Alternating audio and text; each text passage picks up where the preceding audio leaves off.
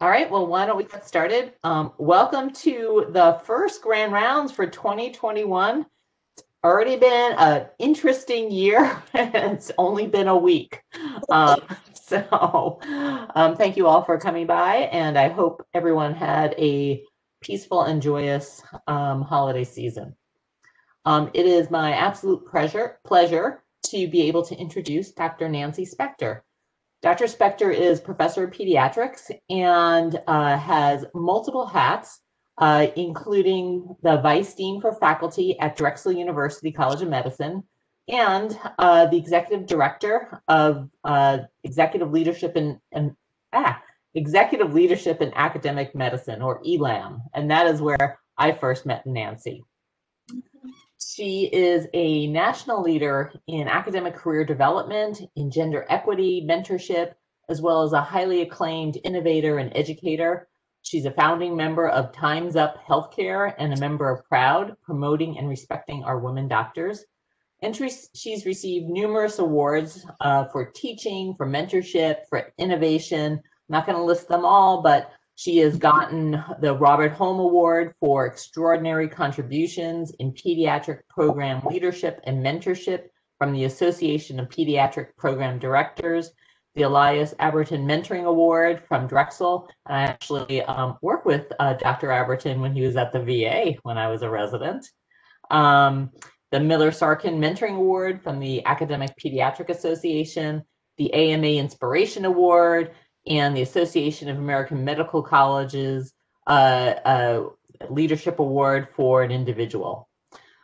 Um, and, uh, you know, I think awards do, attest to the amazing uh, work that Nancy has done, um, but I can attest from personal experience that Dr. Spector is a tremendous mentor, sponsor, and ally.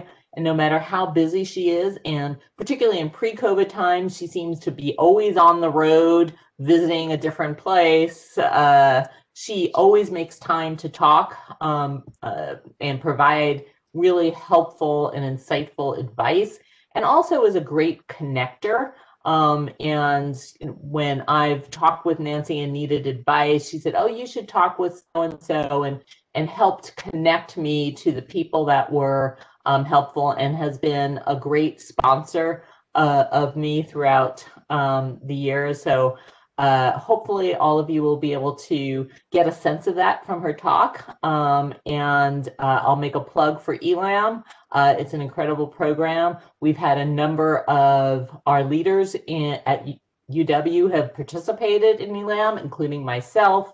Uh, Dr. Nasia Safdar is currently um, uh, in ELAM, Dr. Amy Kind, Dr. Molly Carnes, Dr. Betsy Trowbridge. So um, we've had great success in the program, and I know everybody has really uh, gotten a lot out of that program. So with that, I'm going to hand over the virtual baton to Dr. Spector. Thank you. Thank you so much for that very kind introduction. I was told by Clint I could just leave this up for a second and then go back because I don't know what it is, but I'll go past it. Um, and uh, when Dr. Schnapp asked me to come, I we were talking about different topics to talk about uh, today, and something that has been near and dear to my heart uh, always in the past, but has been amplified as a very important right now is thinking about mentorship, sponsorship, and allyship um, because there is so much happening right now in the country and uh, in our everyday academic world. And uh, we need to ground in some concepts of support that will really help propel all of us through this very difficult time and uh, and to help us shine throughout all the things that are happening.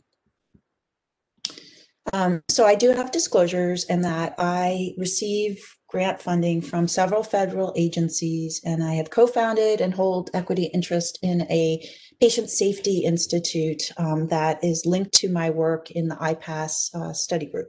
And I see, uh, receive monetary awards and honoraria, et cetera, not travel anymore, from uh, institutions for the, the professional development work I do.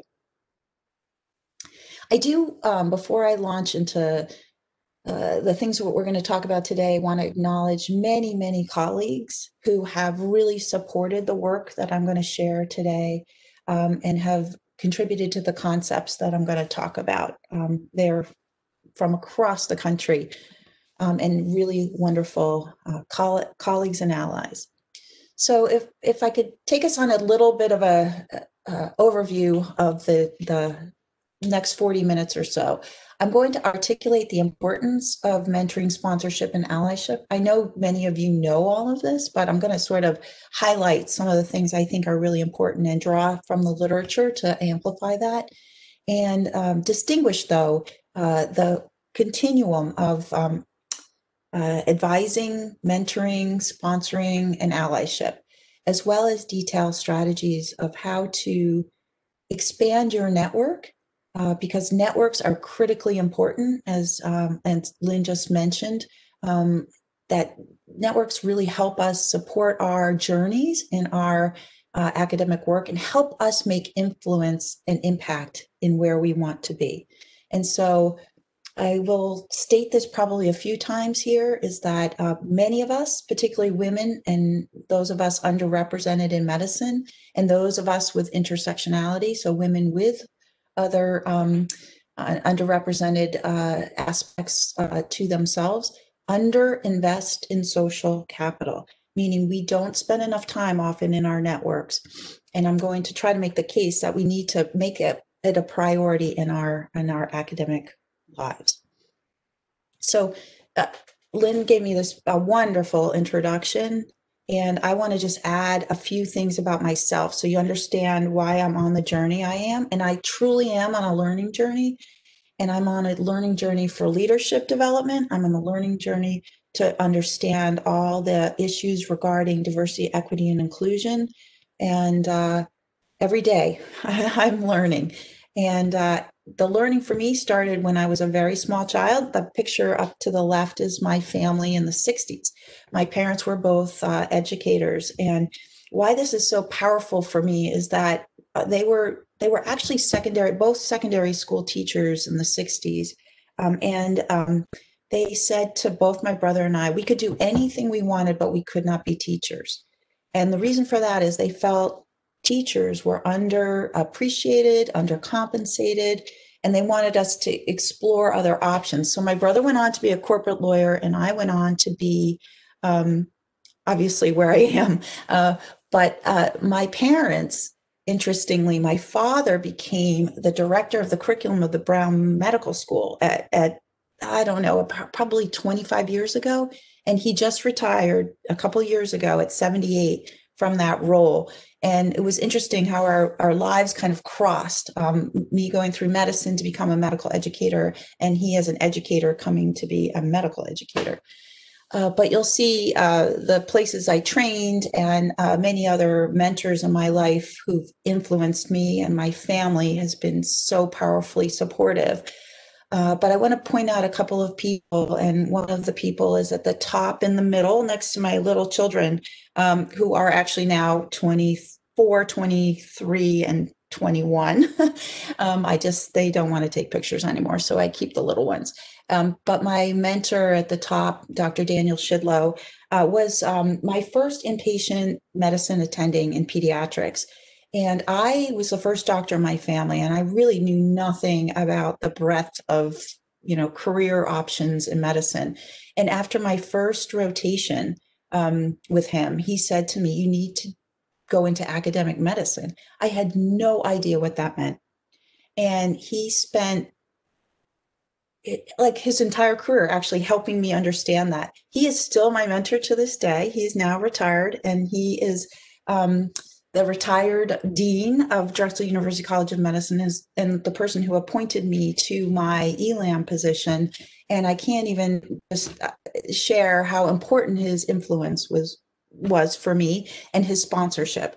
Um, and uh, if he hadn't said those words early in my career, I don't know where I would have been.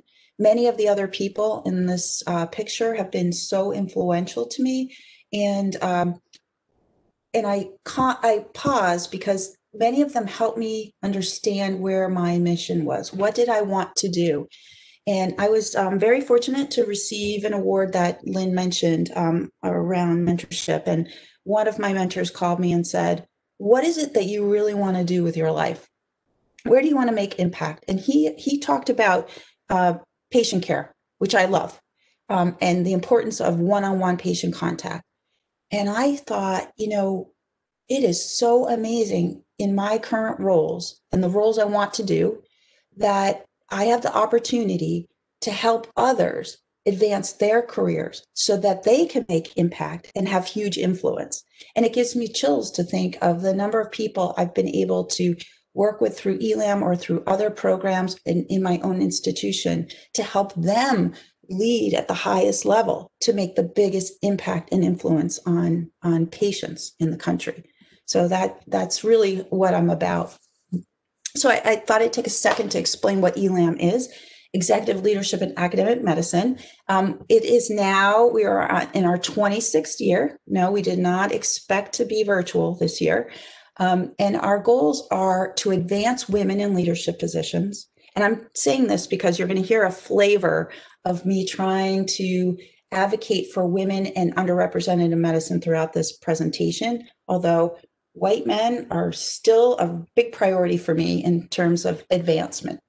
Um, so to advance women, to support and sustain women who, who attain leadership positions, because women, when they get into high level leadership positions, are often very vulnerable because we're often one of a few at the table and are um, we have a higher visibility if if we misstep or if there are issues people recognize and and are critical in a different way and finally, to change the culture of academic healthcare. So our mission, it, when fellows come to ELAM, and we have about 60 a year, and we have 1,072 grads, uh, we're hoping that they will go back and help change the culture at their home institutions, as Dr. Schnapp is doing as well.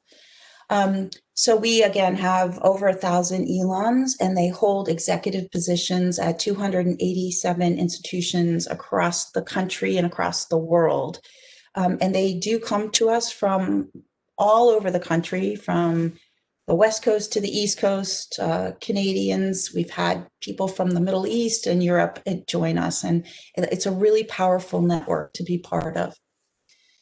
So, where are we in academic medicine? Why why am I framing it around thinking particularly about women leaders and underrepresented in medicine?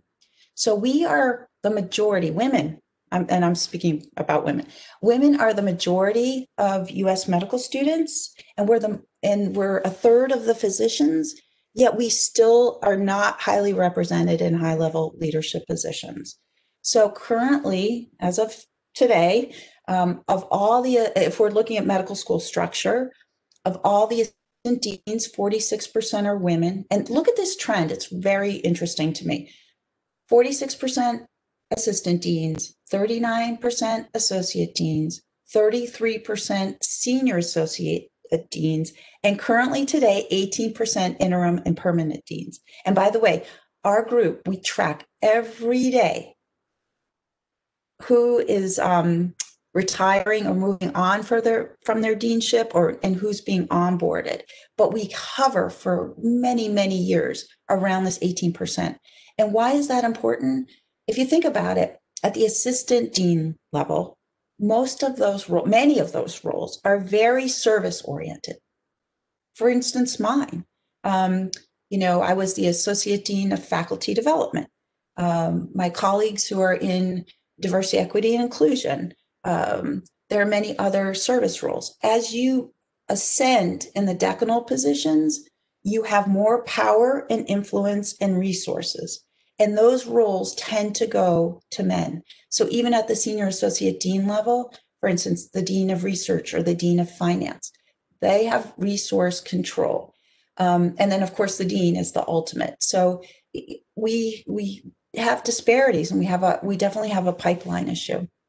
If we look at statistics from the WMC, just in terms of rank, um, and so your discipline, internal medicine, if you look at this. Um, 24% of the full professors are women. Um, 17% of the department chairs are women. And that, but that is not dissimilar across other medicine disciplines or across other fields like dentistry, pharmacy, and public health. So, again, we still have a gap that we have to think about. This is powerful work from um, Dr. Reshma Jagsi and her colleagues. Dr. Jagsi was a, a, fellow at ELAM last year, and she's at um, University of Michigan, and many of you probably know her. If you see on this this graph, if you look at the blue line, uh, that represents all department chairs, interim, acting, and full department chairs, and their ascension across time um, of women ascending in numbers. And if you look at the orange line, that's medical school deans. And their work, which was published in the New England Journal of Medicine, so peer reviewed, shows that if we go at the current pace of increasing the number of women at the table for these positions, we will not achieve equity, men and women at, in these roles, until the year 2070. So I pause there because if you think about it, that's 49 years from now.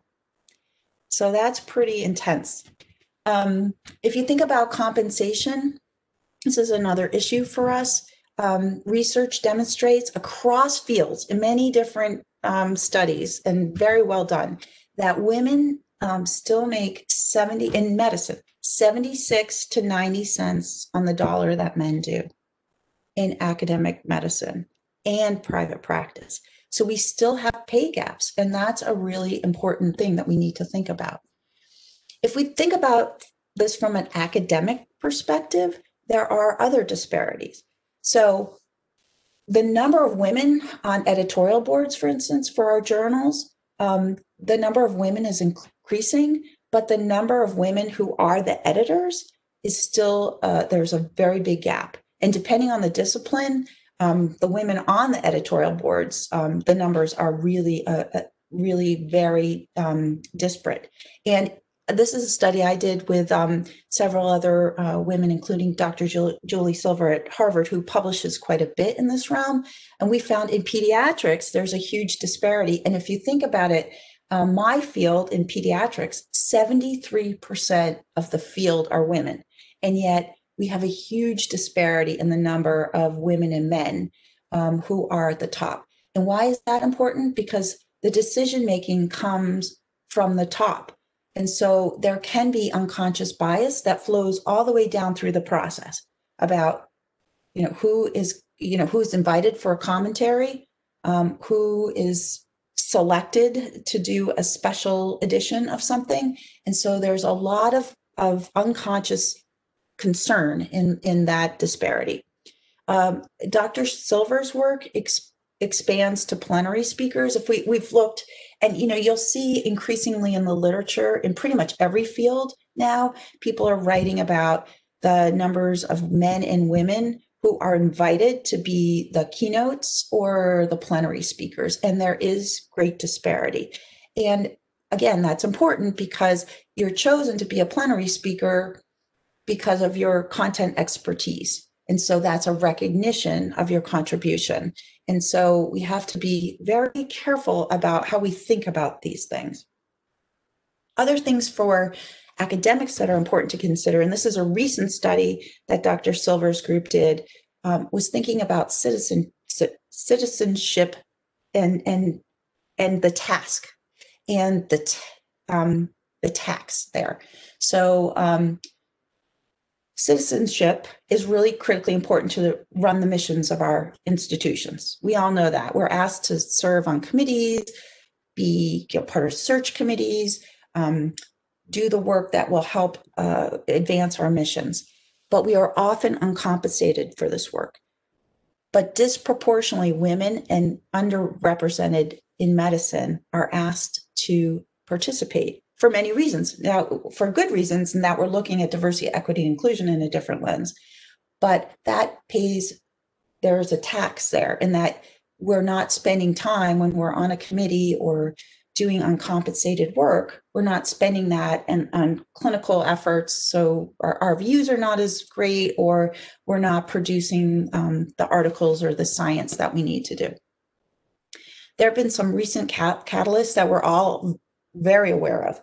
Um, the Me Too movement, um, the COVID pandemic, and Black Lives Matter that have really amplified the issues and, in a fortunate way, started to help us move resources in our schools and our departments to these issues of, of diversity, equity, and inclusion. However, at the same time, um, they have been, um, it's been challenging because white men are usually leading the direction of how we respond to these movements. Um, the gender uh, issues related to the pandemic um, have been amplified. Uh, I'll, I'll, share that I've, I've written a couple pieces um, recently, commentaries for JAMA and other pediatric journals about the impact that COVID 19 has had on people um, because uh, it's just an overwhelming situation for all of us. And uh, it's clear that the increasing demands at home um, and other issues have provided us less time for research, scholarship, have ex- are exacerbating the leadership gap. For a while, I was really concerned because search firms were reaching out to me in my ELAM role asking um, for help because women were not putting their hat in the ring to apply for high level leadership positions um, and sharing that you know they were doing what they need to do. They were taking care of the covid-19 issues at home. They were taking care of their their their families um, and for very good reason. But what was happening is the searches continued to move on and women and people underrepresented in medicine were not putting their hat in the ring so I was really concerned uh, with my colleagues that we were going to expand this gap over time. And then burnout is a major issue right now. We know people are leaving our field, um, and uh, we don't know the numbers yet, but it's it's kind of um, concerning. The pandemic related to racism is also really critically important, um, and COVID nineteen and George Floyd's death and the death of other uh, uh, wonderful people has really exacerbated the issues and made us really, um, really take a closer look at, at what we need to do. So before all of our pandemics, we at ELAM used to say we are moving the needle on diversity, equity, inclusion at glacier speed. So there's a little snail here. It's not a glacier, but not moving quickly. But we're really concerned now, uh, all of us are concerned collectively that with the other uh, issues that are amplifying where we are, will will in- increase that um, disparity across um, um, the gender and diversity uh, work we're doing. So this is where I'm moving into, and that was a lot of background, but I think it's really important to frame that why it's so important right now to focus on all of our networks and to really think about how we're going to utilize and pay attention to and prioritize people in our lives that can help us continue to move our good work forward with all of these other factors happening with us, uh, happening to us or around us. So, thinking about mentorship, sponsorship, allyship, and coaching. So, a, just a couple definitions. So, a mentor really is a trusted counselor or guide. I think we're most familiar with this term. And for any of us who've been involved in basic science work, the very traditional dyadic mentoring model is very familiar to us. Sponsorship. This is a really important important um, concept which has really taken hold in the last three or four years in academic medicine brought to us through business um, is really the powerful, influential person who provides public support for your advancement and promotion and helps you be successful in whatever they're sponsoring you for. And then the allyship, the collaborator to fight injustice. Let's start with mentoring. We are, again, most familiar with this. Why is it so important? Because we have a complexity of roles. If I interviewed everybody on this um, uh, seminar today or presentation today, I would not find any two of you who were the same. We all have multiple roles, we have multiple bosses, um, we also have multiple goals or different goals. Um, and also, there's a complexity of our environment and that there's turnover of leadership. the average um, tenure of a dean is five years. The average tenure of a chair is eight. So inevitably, we're, we're going to have leadership changes, which, you know, as you know, causes disruption, uncertainty. Um, so we know change is constant and rapid. And mentorship really provides stability and grounding and opportunities to for professional growth while all these things are happening in the background. However, there are great challenges for mentors. I mentioned, you know, the disparity in the number of, for instance, women full professors or uh, people underrepresented in medicine full professors. By the way, our, our data for underrepresented in medicine and as well as um, women of intersectionality, we have we don't have great data, and we need to get better data. Uh, so if you're looking for a mentor who is very much like you, sometimes that's really challenging. And the challenges for the mentors are often we don't have effective training, we have time limitations, and now exacerbated more than ever. I keep hearing from people that they're not able to connect with the people that they consider mentors because the mentors are overwhelmed with their own, you know, working through all the issues and then there's mentor fatigue. The really good mentors get over overtapped. And by the way, I show this picture because this really reminds me of my office right now. I have to do a big clean out. Also, there are challenges for mentors at baseline in that we have to think about um, how we're mentoring different generations.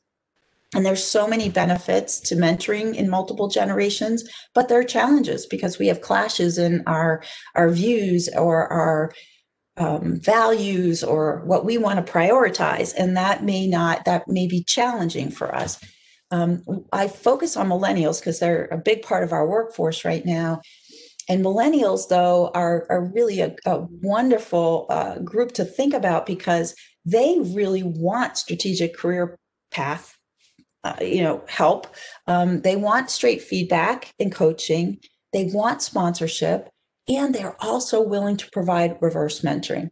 So they're happy to mentor up to, to people like me uh, who are more senior. And it's it's just a really great thing to think about and how, what value that is. Where we have to move away from, um, I never really watched SpongeBob, but one of my mentees brought this to me because in the old days, and this was me at the beginning of my career, um, just you know, please mentor me. Here I'm, I'm here. Somebody come and swoop me up, um, and that really is not a great way to frame things right now in our reality. We have to think more broadly about mentorship. So this this picture, these two pictures are my own learning community at ELAM, so my peer mentors, and Lynn's uh, peer mentoring group at ELAM. And I think the power of uh, one of the powers of ELAM is thinking about how your peers. So if you can't find a million senior people who are like you, um, to think about how your peers can mentor you. And what I think is so powerful about these groups is the women in these pictures are come from very diverse backgrounds, have diverse expertise, um, but really have come together to help each other navigate through difficult times. So we have to think broadly about types of mentoring. This con- concept of a mentoring mosaic um, was created with a, a, a team of my own mentees when we were thinking about, well, how, how should you think about mentoring? Because there isn't just one person who can do it all for us. So we have to think about the areas that we need support in and think about who can mentor us and think more broadly about who can mentor us from a senior perspective, um, a peer perspective, and a junior perspective, as, as, we, as we just talked about. So we've created a tool, and I'm happy to share this with you. We have a whole like set of educational um, presentations and, and workshop materials for this, but um, this concept is uh, thinking through okay, what do you need and who should be in your mentoring mosaic? And so uh, this example is Dr. Mario Cruz, who was one of my mentees, um, who um, at the time we did this was an associate program director of mine. I was the program director of the residency program.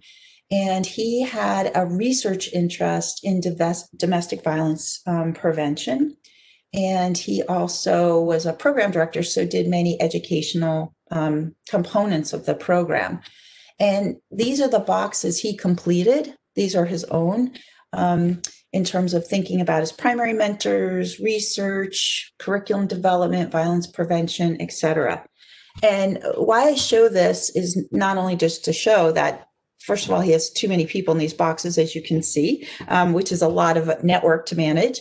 But um, we used it as a professional development tool. As he created it we thought uh, we worked together to think through strategically how he would advance the mentoring relationships or the projects in each of those areas.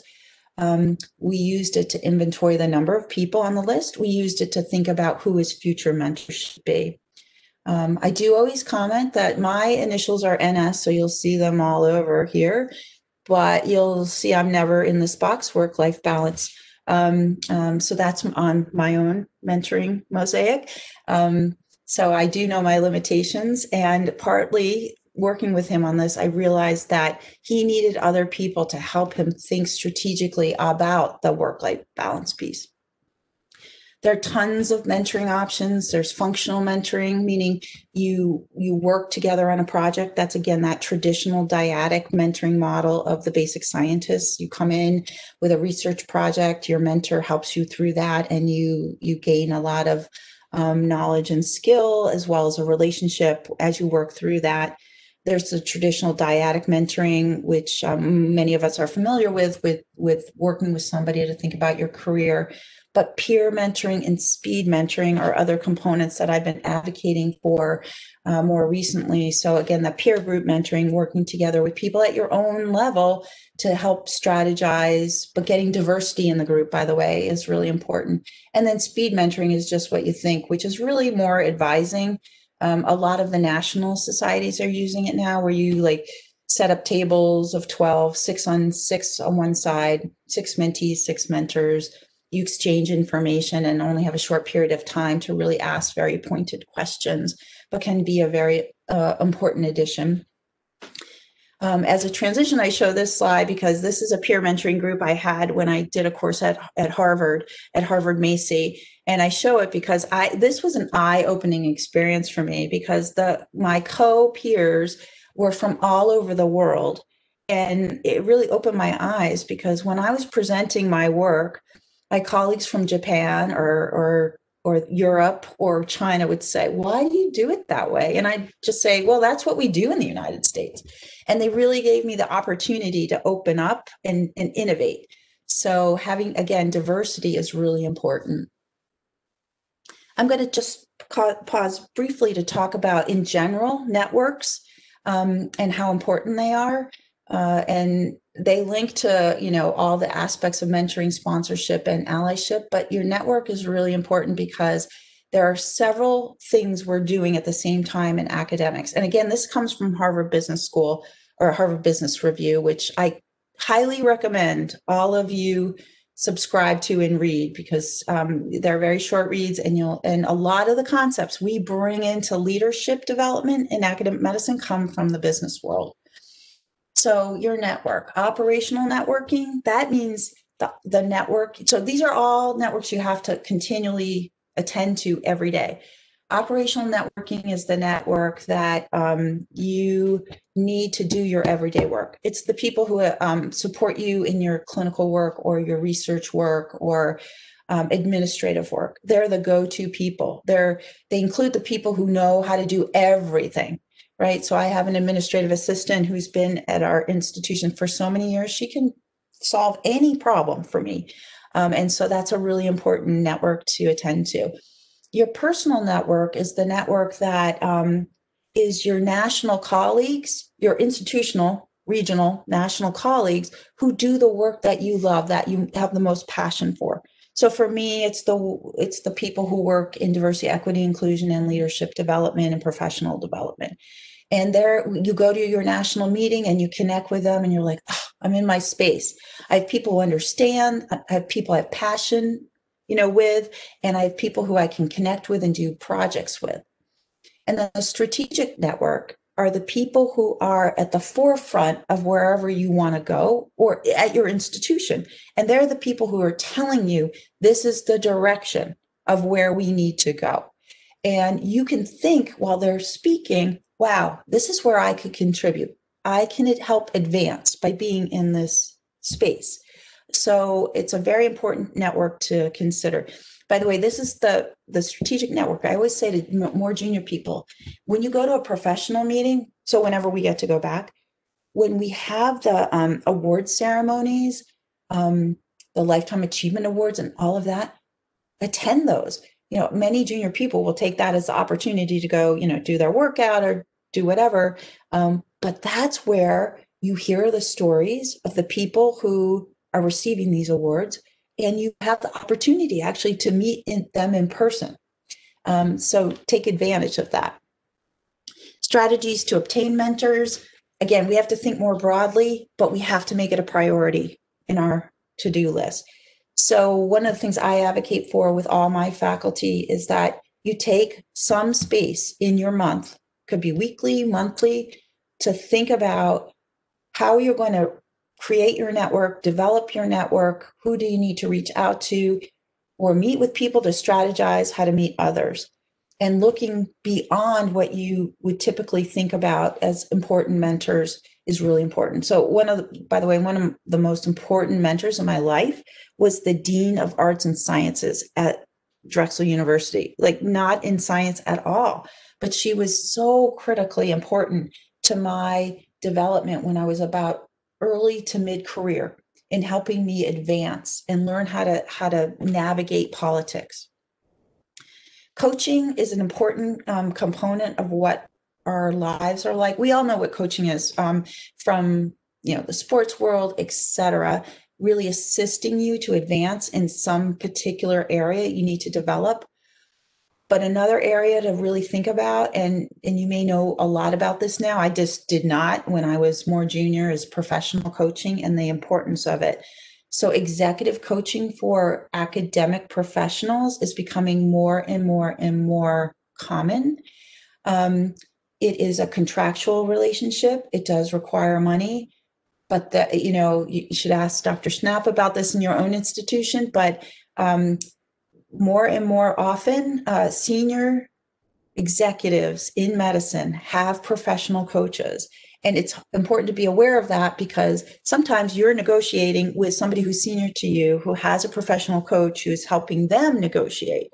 Um, but also, it's very helpful for people at different stages of their career if they're thinking about a transition, um, if they need to help they need help with negotiating for something. Um, so this is a whole very rich area to think about. I mentioned sponsorship. Uh, this is an area I'm quite passionate about now. I think we need to, as academic institutions, develop a culture of sponsorship. We need to ensure that senior people are looking out for junior people and helping them to advance actively. So I like this definition from Catalyst, which is a coach tells you what to do, a mentor will listen to you and speak with you, but a sponsor will talk about you. Why is this so important for women? Again, I know I have that gender bent here, but um, this is from, again, Harvard Business Review. Ibarra writes extensively in this area. Um, and this is a little bit old data, but uh, it has not changed much. Um, in that women tend to have one mentor, at least one mentor, so more often, and it have more mentors than men more often. However, in business, this isn't business, but I think it's true in medicine, we're less likely to be promoted. And why is that true? Because we have fewer sponsors. And that again goes back to that women and, and people underrepresented in medicine often under rep, under invest in that social capital. So we're not always there when the decisions are being made or we're not always there when people are thinking, oh, you know, who should do this? And so we have to think very strategically about how to do that. Sponsorship, and these are, there's been a lot written recently uh, about sponsorship and allyship for women and men uh, who are underrepresented. And sponsorship, this is a, a, recent article again in Harvard Business Review, that sponsorship is critical to Black women's access uh, to significant training, development, and networking opportunities and, advancement. Um, and so we have to think very, if we want to change the landscape, we have to develop a, a culture of sponsorship.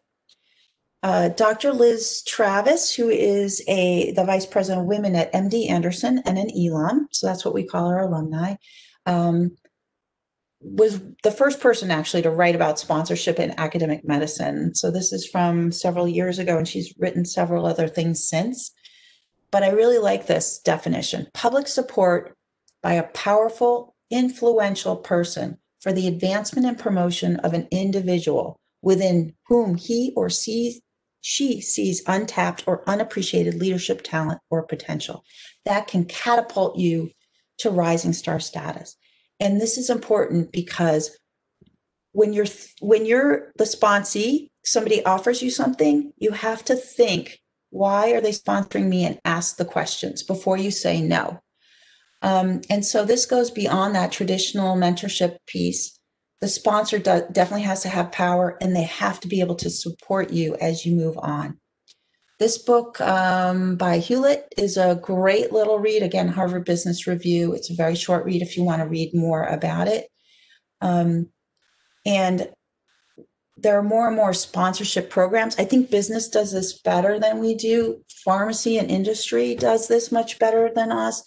But there are increasingly more sponsorship programs being delivered across the country.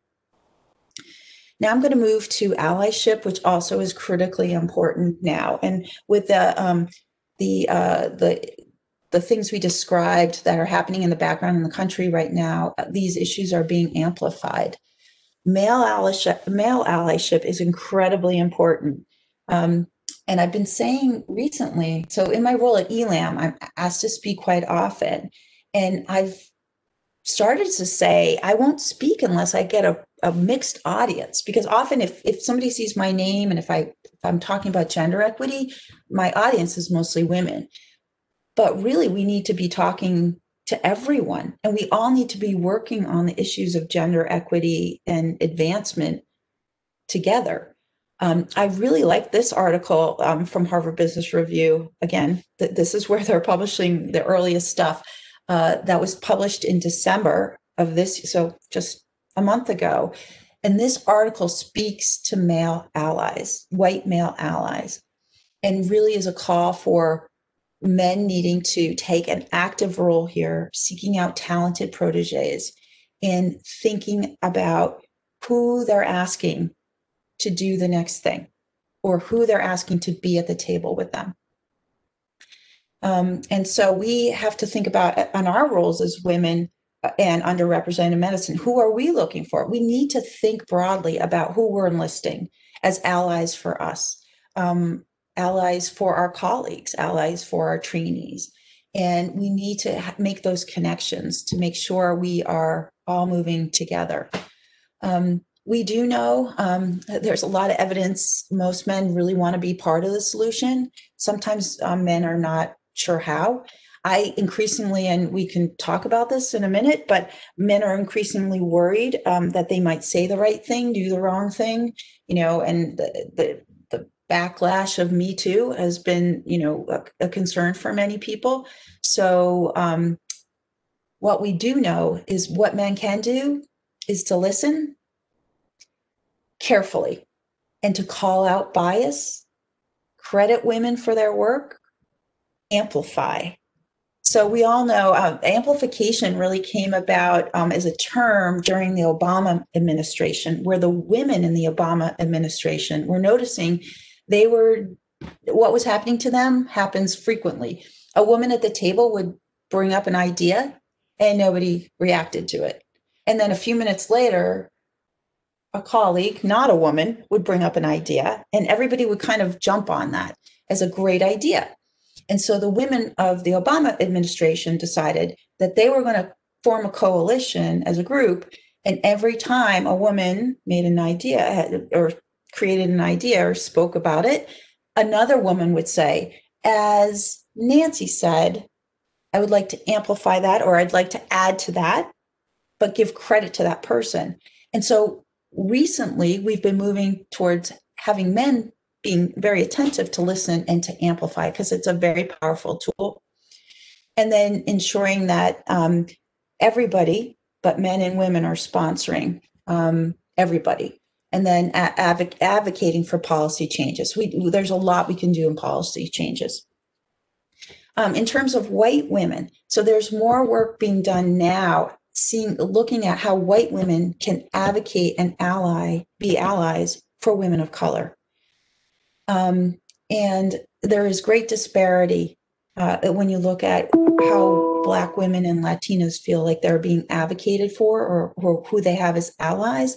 They they very infrequently see that white women are allies for them.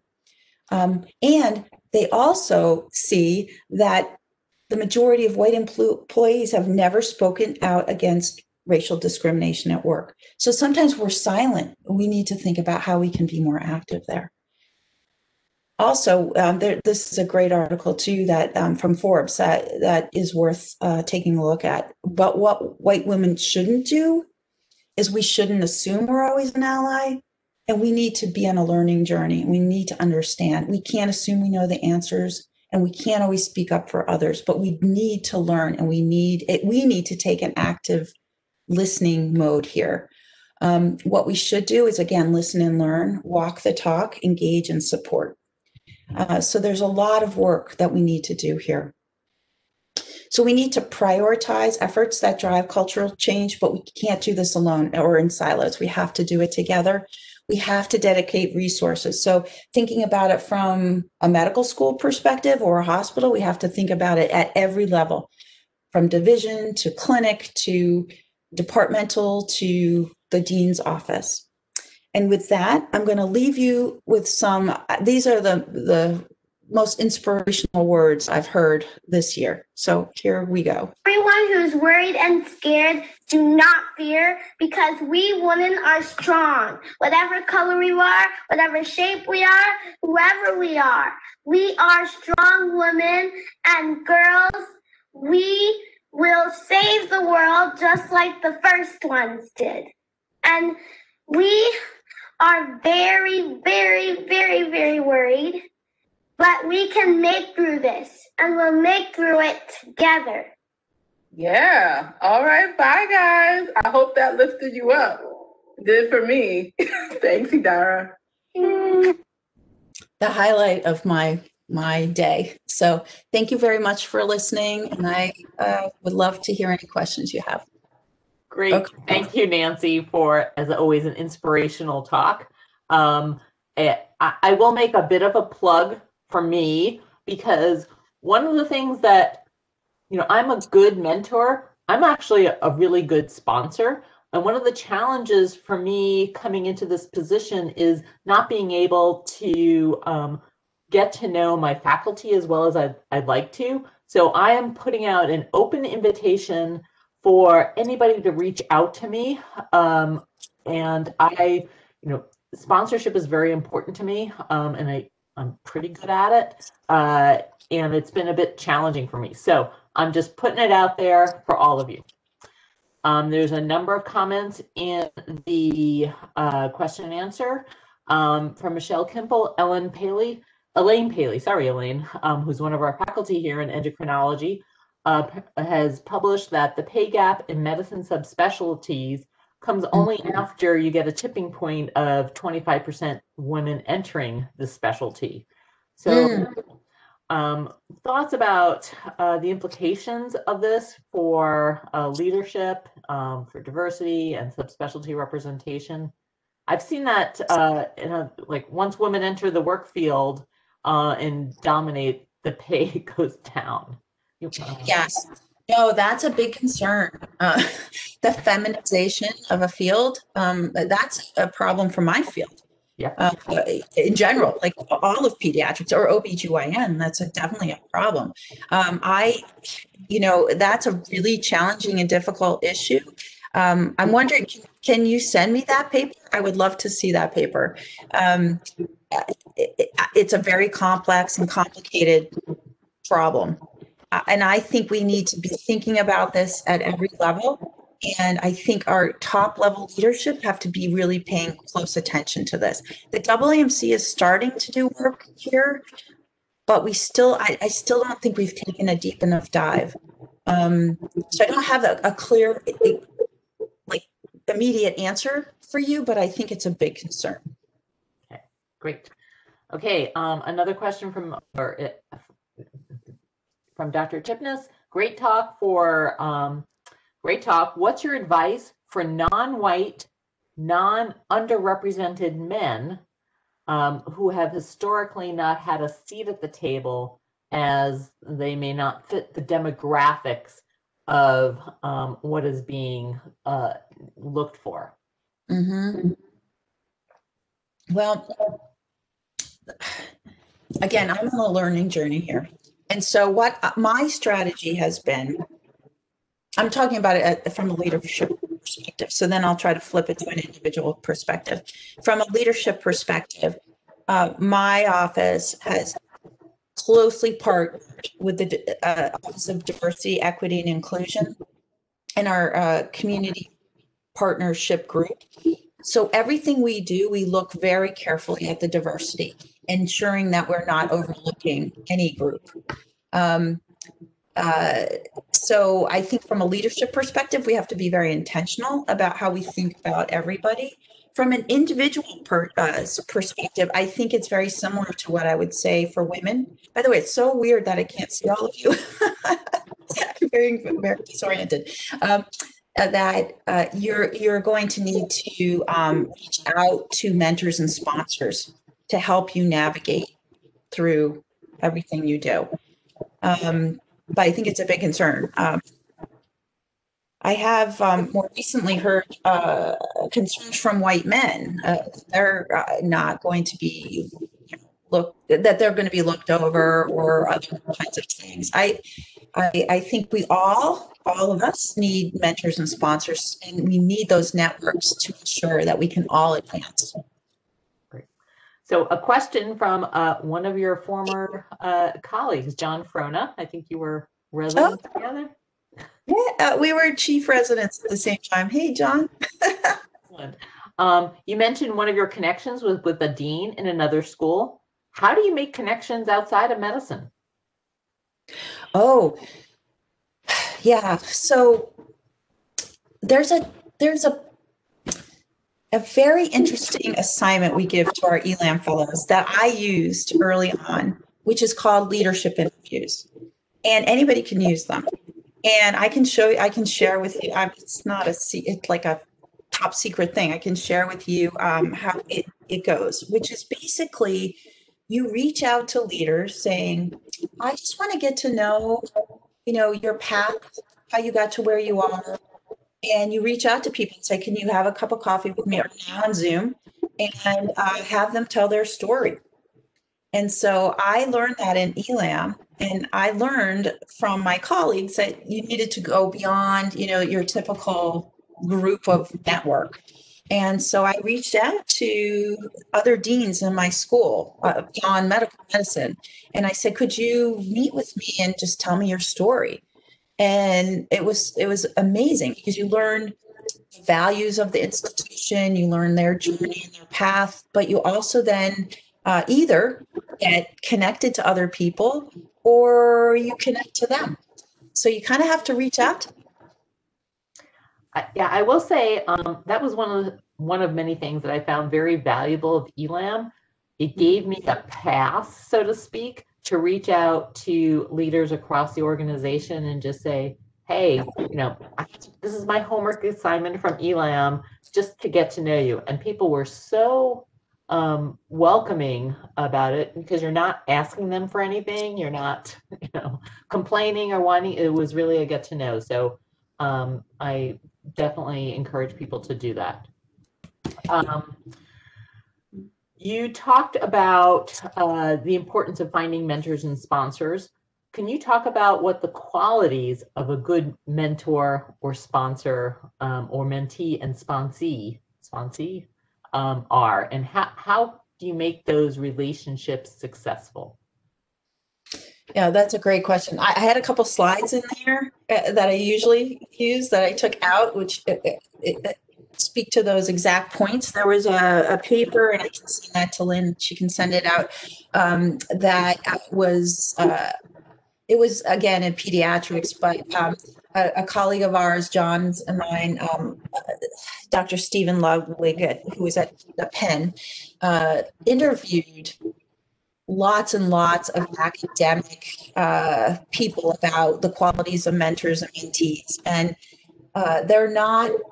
There's nothing that wouldn't you know would would surprise you in those qualities but i think uh, the main ones on the mentor side are listening skills uh, trying not to make somebody a mini me uh, trying to really elicit, elicit the goals of the mentee um, and somebody who's actually available. Uh, on the mentee side there's a great uh, paper by zerzan that i can send to you also uh, that is mentee driven mentoring, which is a concept that I've really like really embraced since I read that paper, which means the mentee needs to drive the relationship. Uh, it also speaks to chemistry. You know, it's just like any other relationship. There needs to be chemistry, common values, common, you know, getting excited over certain things. So uh, there's some of that, you know, intangible stuff but on the mentee side, making sure the goals are clear, um, that you follow up as a mentee, that you circle back and thank the mentor, and those types of things will really help the relationship. But those two papers um, that I mentioned can really, um, I'm happy to send them to you, and uh, they will probably, in more in depth, uh, explain uh, some of those concepts. Great. Um, so another question, which is very relevant, uh, uh, resonates with me. Um, the difficulty with finding women willing to apply for leadership positions. Um, do you think we need to change uh, the leadership positions to make them more attractive to women, um, or URM, um, or how do we get more people to actually apply? Uh, there, that's a complex but very important question. Um, I think there are many factors there. One is uh, what the search firm colleagues I have will share with me, and a lot of people who've run searches, is women often has, have to be asked more than once. Uh, they also, uh, we have, all of us, I think, in medicine, not 100%, but a lot of us have imposter syndrome so we have to think about ways to really uh, think, get past that imposter syndrome. I think there are also um, search techniques that need to be changed in order to uh, Im- improve the pool of who's in it. And we have to make sure we don't ser- do searches, and this uh, drives me nuts people do searches and they just pick candidates to show to show diversity, but they're really not actually interested in those candidates. So I know I said a lot of things in there, but there there's structural issues on how to run the searches, uh, but there are then personal uh, professional development issues that we need to help uh, women and underrepresented in medicine understand that they're actually ready to go to be at the table and to encourage them and sponsor them to be there. I know there's um there are studies that take a look at the number of requirement, you know, if a, a job listed Oh, uh, yeah. 10 different qualities that they're looking for that um, if a man meets 40% that they'll apply and a woman will only apply if I don't remember what the percent like 80 or 90 or all of them. Um, and that is a mindset. Uh, Mindset we have to get beyond for sure. Absolutely. Um, So if I'm an older white man like Mark Juckett, um, who is uh, interested, uh, how, how do you express interest in being a sponsor or mentor for those who would benefit? Um, so I, I guess uh, there are a couple things. I think if I were you, I would read some of the things I shared in the presentation and read the um, articles to get a little more depth of that, uh, but list being really attentive to listening to what people's goals are and asking what people's goals are, uh, as well as when you're in the room deciding who you know should be on that committee or who should be elevated to whatever accolade it is to make sure you think more broadly about who you're thinking about. We all have the tendency, by the way, all of us, to pick people who are like us for things that might be great. Um, so it's really listening and learning. Um, I have been reading like crazy recently um, around the issues of diversity, equity, inclusion, um, the things in in you know our our medical literature. There are so many books out there right now. Um, the more you can learn, the better. But the more active listening and paying attention to what the dynamics are, um, and giving people opportunities. So thinking broadly that way is what I would recommend. It's but it's hard work. It's hard work. Yeah. So we're running on time. I will um, skip in and ask one final question. Um, can you talk about your perspective on the LGBTQ community and its exclusion from the definition of um, DEI at medical schools? Yeah, I think that's something we really have to think about. We're taking a deep dive in my own medical school to think about that. Um, I don't have all the answers. I just know we need to pay attention to it. Um, and I know there are a lot of issues about how the questions are asked so that we can, um, you know, understand uh, the diversity within our groups uh, and uh, that we can see color. Um, and, and that's a different, although we can't assume uh, race and ethnicity, uh, but I think it's something we, we critically have to pay attention to right now. So I don't have all the answers, but I, I do know it's something we, we need to focus on right now. Okay, great.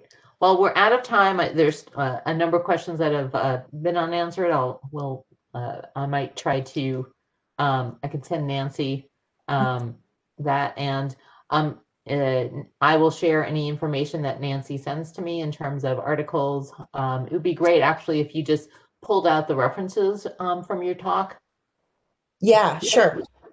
and then I'll, I'll forward it to the department. Um, so thank everybody. I want to thank everybody for participating and um, coming virtually. I want to thank uh, Nancy in particular for coming and sharing her perspectives. Um, and I'm sure she would welcome anybody reaching out to her who needs some, has some questions or um, uh, is interested uh, in some of these issues. So um, we'll. Absolutely. And I'm taking you up on the, uh, the offer to come in person someday in the next. 10 years. Someday, we're gonna get you.